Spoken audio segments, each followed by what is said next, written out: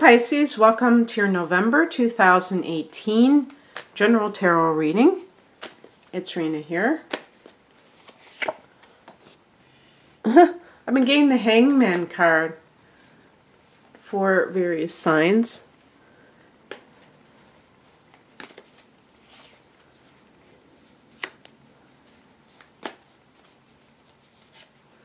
And I really love that that depiction of it. This is the Wild Unknown Tarot deck.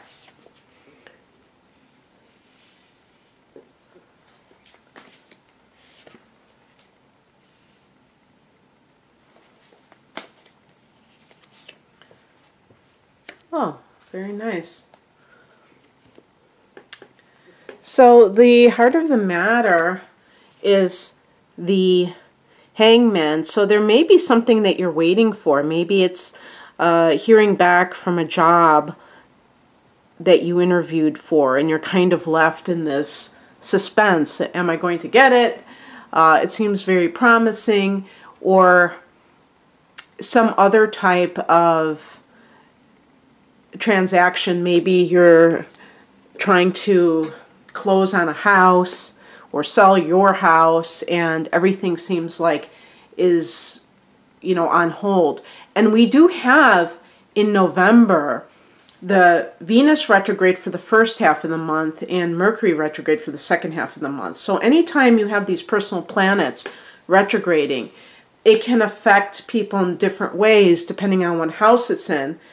And it could even literally be for house issues.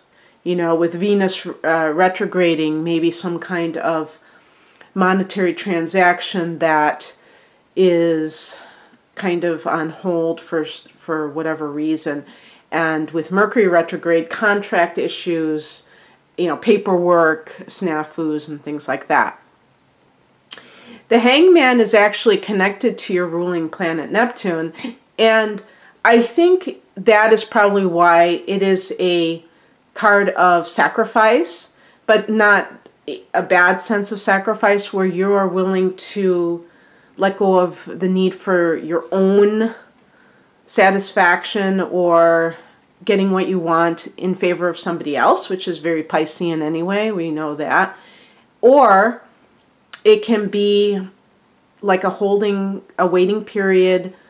Um, you're waiting for somebody to come back from, if they're, you know, like a partner coming back from another country, or you're waiting for some kind of word about something, some kind of a message. And the other thing too, I was there was something else that I wanted to say. Oh, surrender. This is a big one, I think, with the hangman, where you have done all you can do and you just have to let it go. Not that you're giving up on a certain dream, but you're letting it go for now because you know that you can't force the issue. So, I mean, I guess you could also say if you're in a a relationship that is um, where like the other person is married and you are waiting for them to leave their partner because you want to be with them. And there's nothing you can do. You can't force them to do it. Uh, maybe they've made promises and broken them uh, to you. Is it to you? Broken promises. Um, and that has caused mm, possible pain you know? If somebody if you're counting on something and and the other person won't do it it's it is kind of pain or maybe you're exasperated by it. The other thing too is that that feeling sometimes is of being in a holding pattern where it's like you you're like feeling controlled by somebody else's lack of decision making. At the uh, base of this reading, which could be like the past influencing the present, we got the we have the Mother of Swords, and this is like I think this is like you becoming more detached over the situation, so that you're not as emotionally connected to it as you were in the past. It's possible that you felt as if you were very uh, like let's say it was a job situation and you were like i have to have this job and then you realize no the only job i have to have is the one that the universe wants me to have and everything else isn't what's meant to be. But sometimes because we want something very badly you know obviously the emotions get you know mixed up in it and so you're able to rise above that and then you don't feel very upset. Whereas in the past, you may have been like much more anxiety ridden by something. What's crossing you, which may be kind of a, whole, uh, you know, like an obstacle, is the Eight of Cups. And in personal relationships, this would be like that you refuse to walk away from it and that you probably need to. So you're hanging on to something that isn't very um, good for you. If this is like, you know, this could apply actually to any situation, but walking away is not just like abandoning an idea. It's this card also refers to like a spiritual quest. And so for some people, it's about having a vision for your life that involves the spiritual. So maybe you've been so involved with um, wanting more money or wanting love in your life that you've forgotten about your own development and that it's not dependent upon an external condition. And this is like saying that that spiritual path that we are on, whether we know it or not, is really the ultimate reason that we're here, I feel like. But we're still interacting in this material universe at the same time. So it's kind of like that the temperance card we're in one foot in the water and one foot on land you know the spiritual and the material but understanding that you have to have both. And maybe that has been, you've been too, like, hung up on, if you will, with the hangman, hung up on whatever it is that you're wanting and not putting it in the bigger context. And actually, this card is kind of like that bigger context. This is the spiritual message. The Son of Cups is the Knight of Cups, and this is a card of somebody, this could be like um, a male water sign individual who is artistic um, and, and very romantic. So this would be a fellow Pisces, a Cancer, or a Scorpio individual. In some cases, this might be in a personal relationship. Maybe this is somebody that you know and maybe they like you, but you kind of are attracted to a different type. Sometimes Pisces, I think, attracts a kind of person who is more uh, insensitive because that that idea. Well, I was going to say, especially if you have Venus in Aries, you may be attracted to fire signs, and then find that they're like not as caring as you would like them to be in the way that you need them to be. So that could be somebody that you're overlooking that really is a good fit for you, but you need to kind of understand what kind of person is best suited for you and appreciate that. Maybe because this can be like an offer of some type, and this could even be an offer of love and maybe you're not you're you're waiting for somebody else and that's problematic in a certain way and also with the knight of cups this is also asking you like you know do you feel worthy of accepting what somebody is offering? And maybe that's part of what is going on too that you're kind of like focusing on something that's more of a dead end. And there are there are things out there that would be much more positive for you but you are kind of blind to them. And a lot of pisces people are artistic because i associate this card with being an artist. And maybe you are doing a type of profession that is very left brain that's very kind of um, rational and dry and you are better suited for something that is more creative or more nurturing and for whatever reason you're choosing to go this other route and it's creating more obstacles for you because of it because it's going against what really is good for you you know i found in my own life that when i was doing things that i might have had some talent, ability in, but it really wasn't my true purpose. There were a lot of roadblocks that came my way, and it wasn't really flowing. And when I was doing something that was much more what I was supposed to be doing, it just came quite easily. So that's something to consider as well. The advice is represented by the Mother of Wands, which is the Queen of Wands. This is a card that is associated with Sagittarius. I would add the other uh, fire signs. Uh, Leo, Aries, and again, the Aries energy is something that may even be part of your personal planets and may be something that attracts you. But the point is that with the Mother of Wands, this can be a career woman, someone, if, if it's somebody who is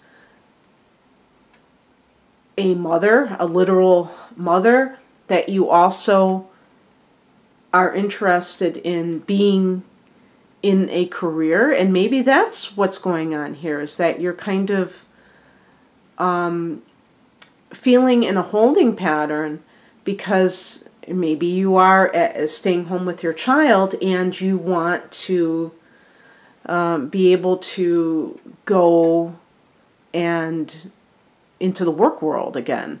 And that has been something that you're like kind of emerging from this cocoon even though the a bat isn't in the cocoon but you feel kind of constricted.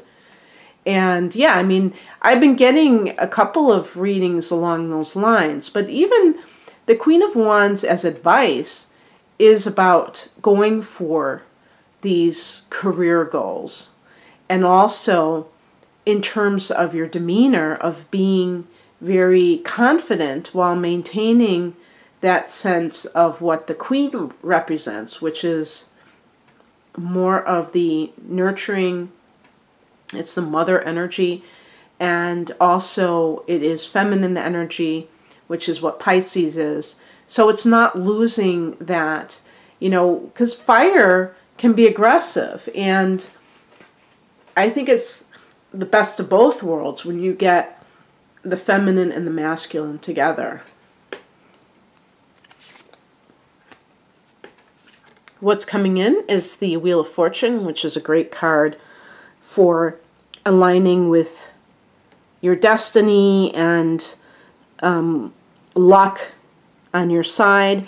And I just feel like things flowing in a great way. So in November, for most of the month, we have the sun in a water sign. So that trine kind of um, aspect is associated with easy flowing energy and that can make it very nice if you're trying to manifest something. And Scorpio, Jupiter in Scorpio is still in play for the first, how, uh, let's see, seven days? Eight days, you could say, technically. So the first week, and that's your ninth house, and that's the house that Jupiter rules. And so maybe you get that last blast of good luck in the house that Jupiter rules. So that could be some kind of expansion in the area of um, spiritual endeavors. And that, that could even be a professional endeavor that has some spiritual connection to it, as well as travel, foreign travel, higher education. And then Jupiter. Oh, yeah, and by the way, Jupiter is associated with the Wheel of Fortune. So that certainly could be talking about timing issues. And then Jupiter's in that 10th house when it's in Sagittarius. So the better it gets, the better it gets. And sure enough, speaking of number 10, we have here the Ten of Cups as the outcome. And this is a card of, you know, happily ever after. This is a card of marriage. This is the card of, you know, family harmony. So any kind of domestic situation is really great. This can be, you know, with the Wheel of Fortune. See, isn't that interesting? The Wheel of Fortune is number 10. So this could be career related. And I think that for some people, maybe you're trying to transition into a more soul based career or healing, a career in the healing arts. If so, maybe this message is specifically for you. It looks really good.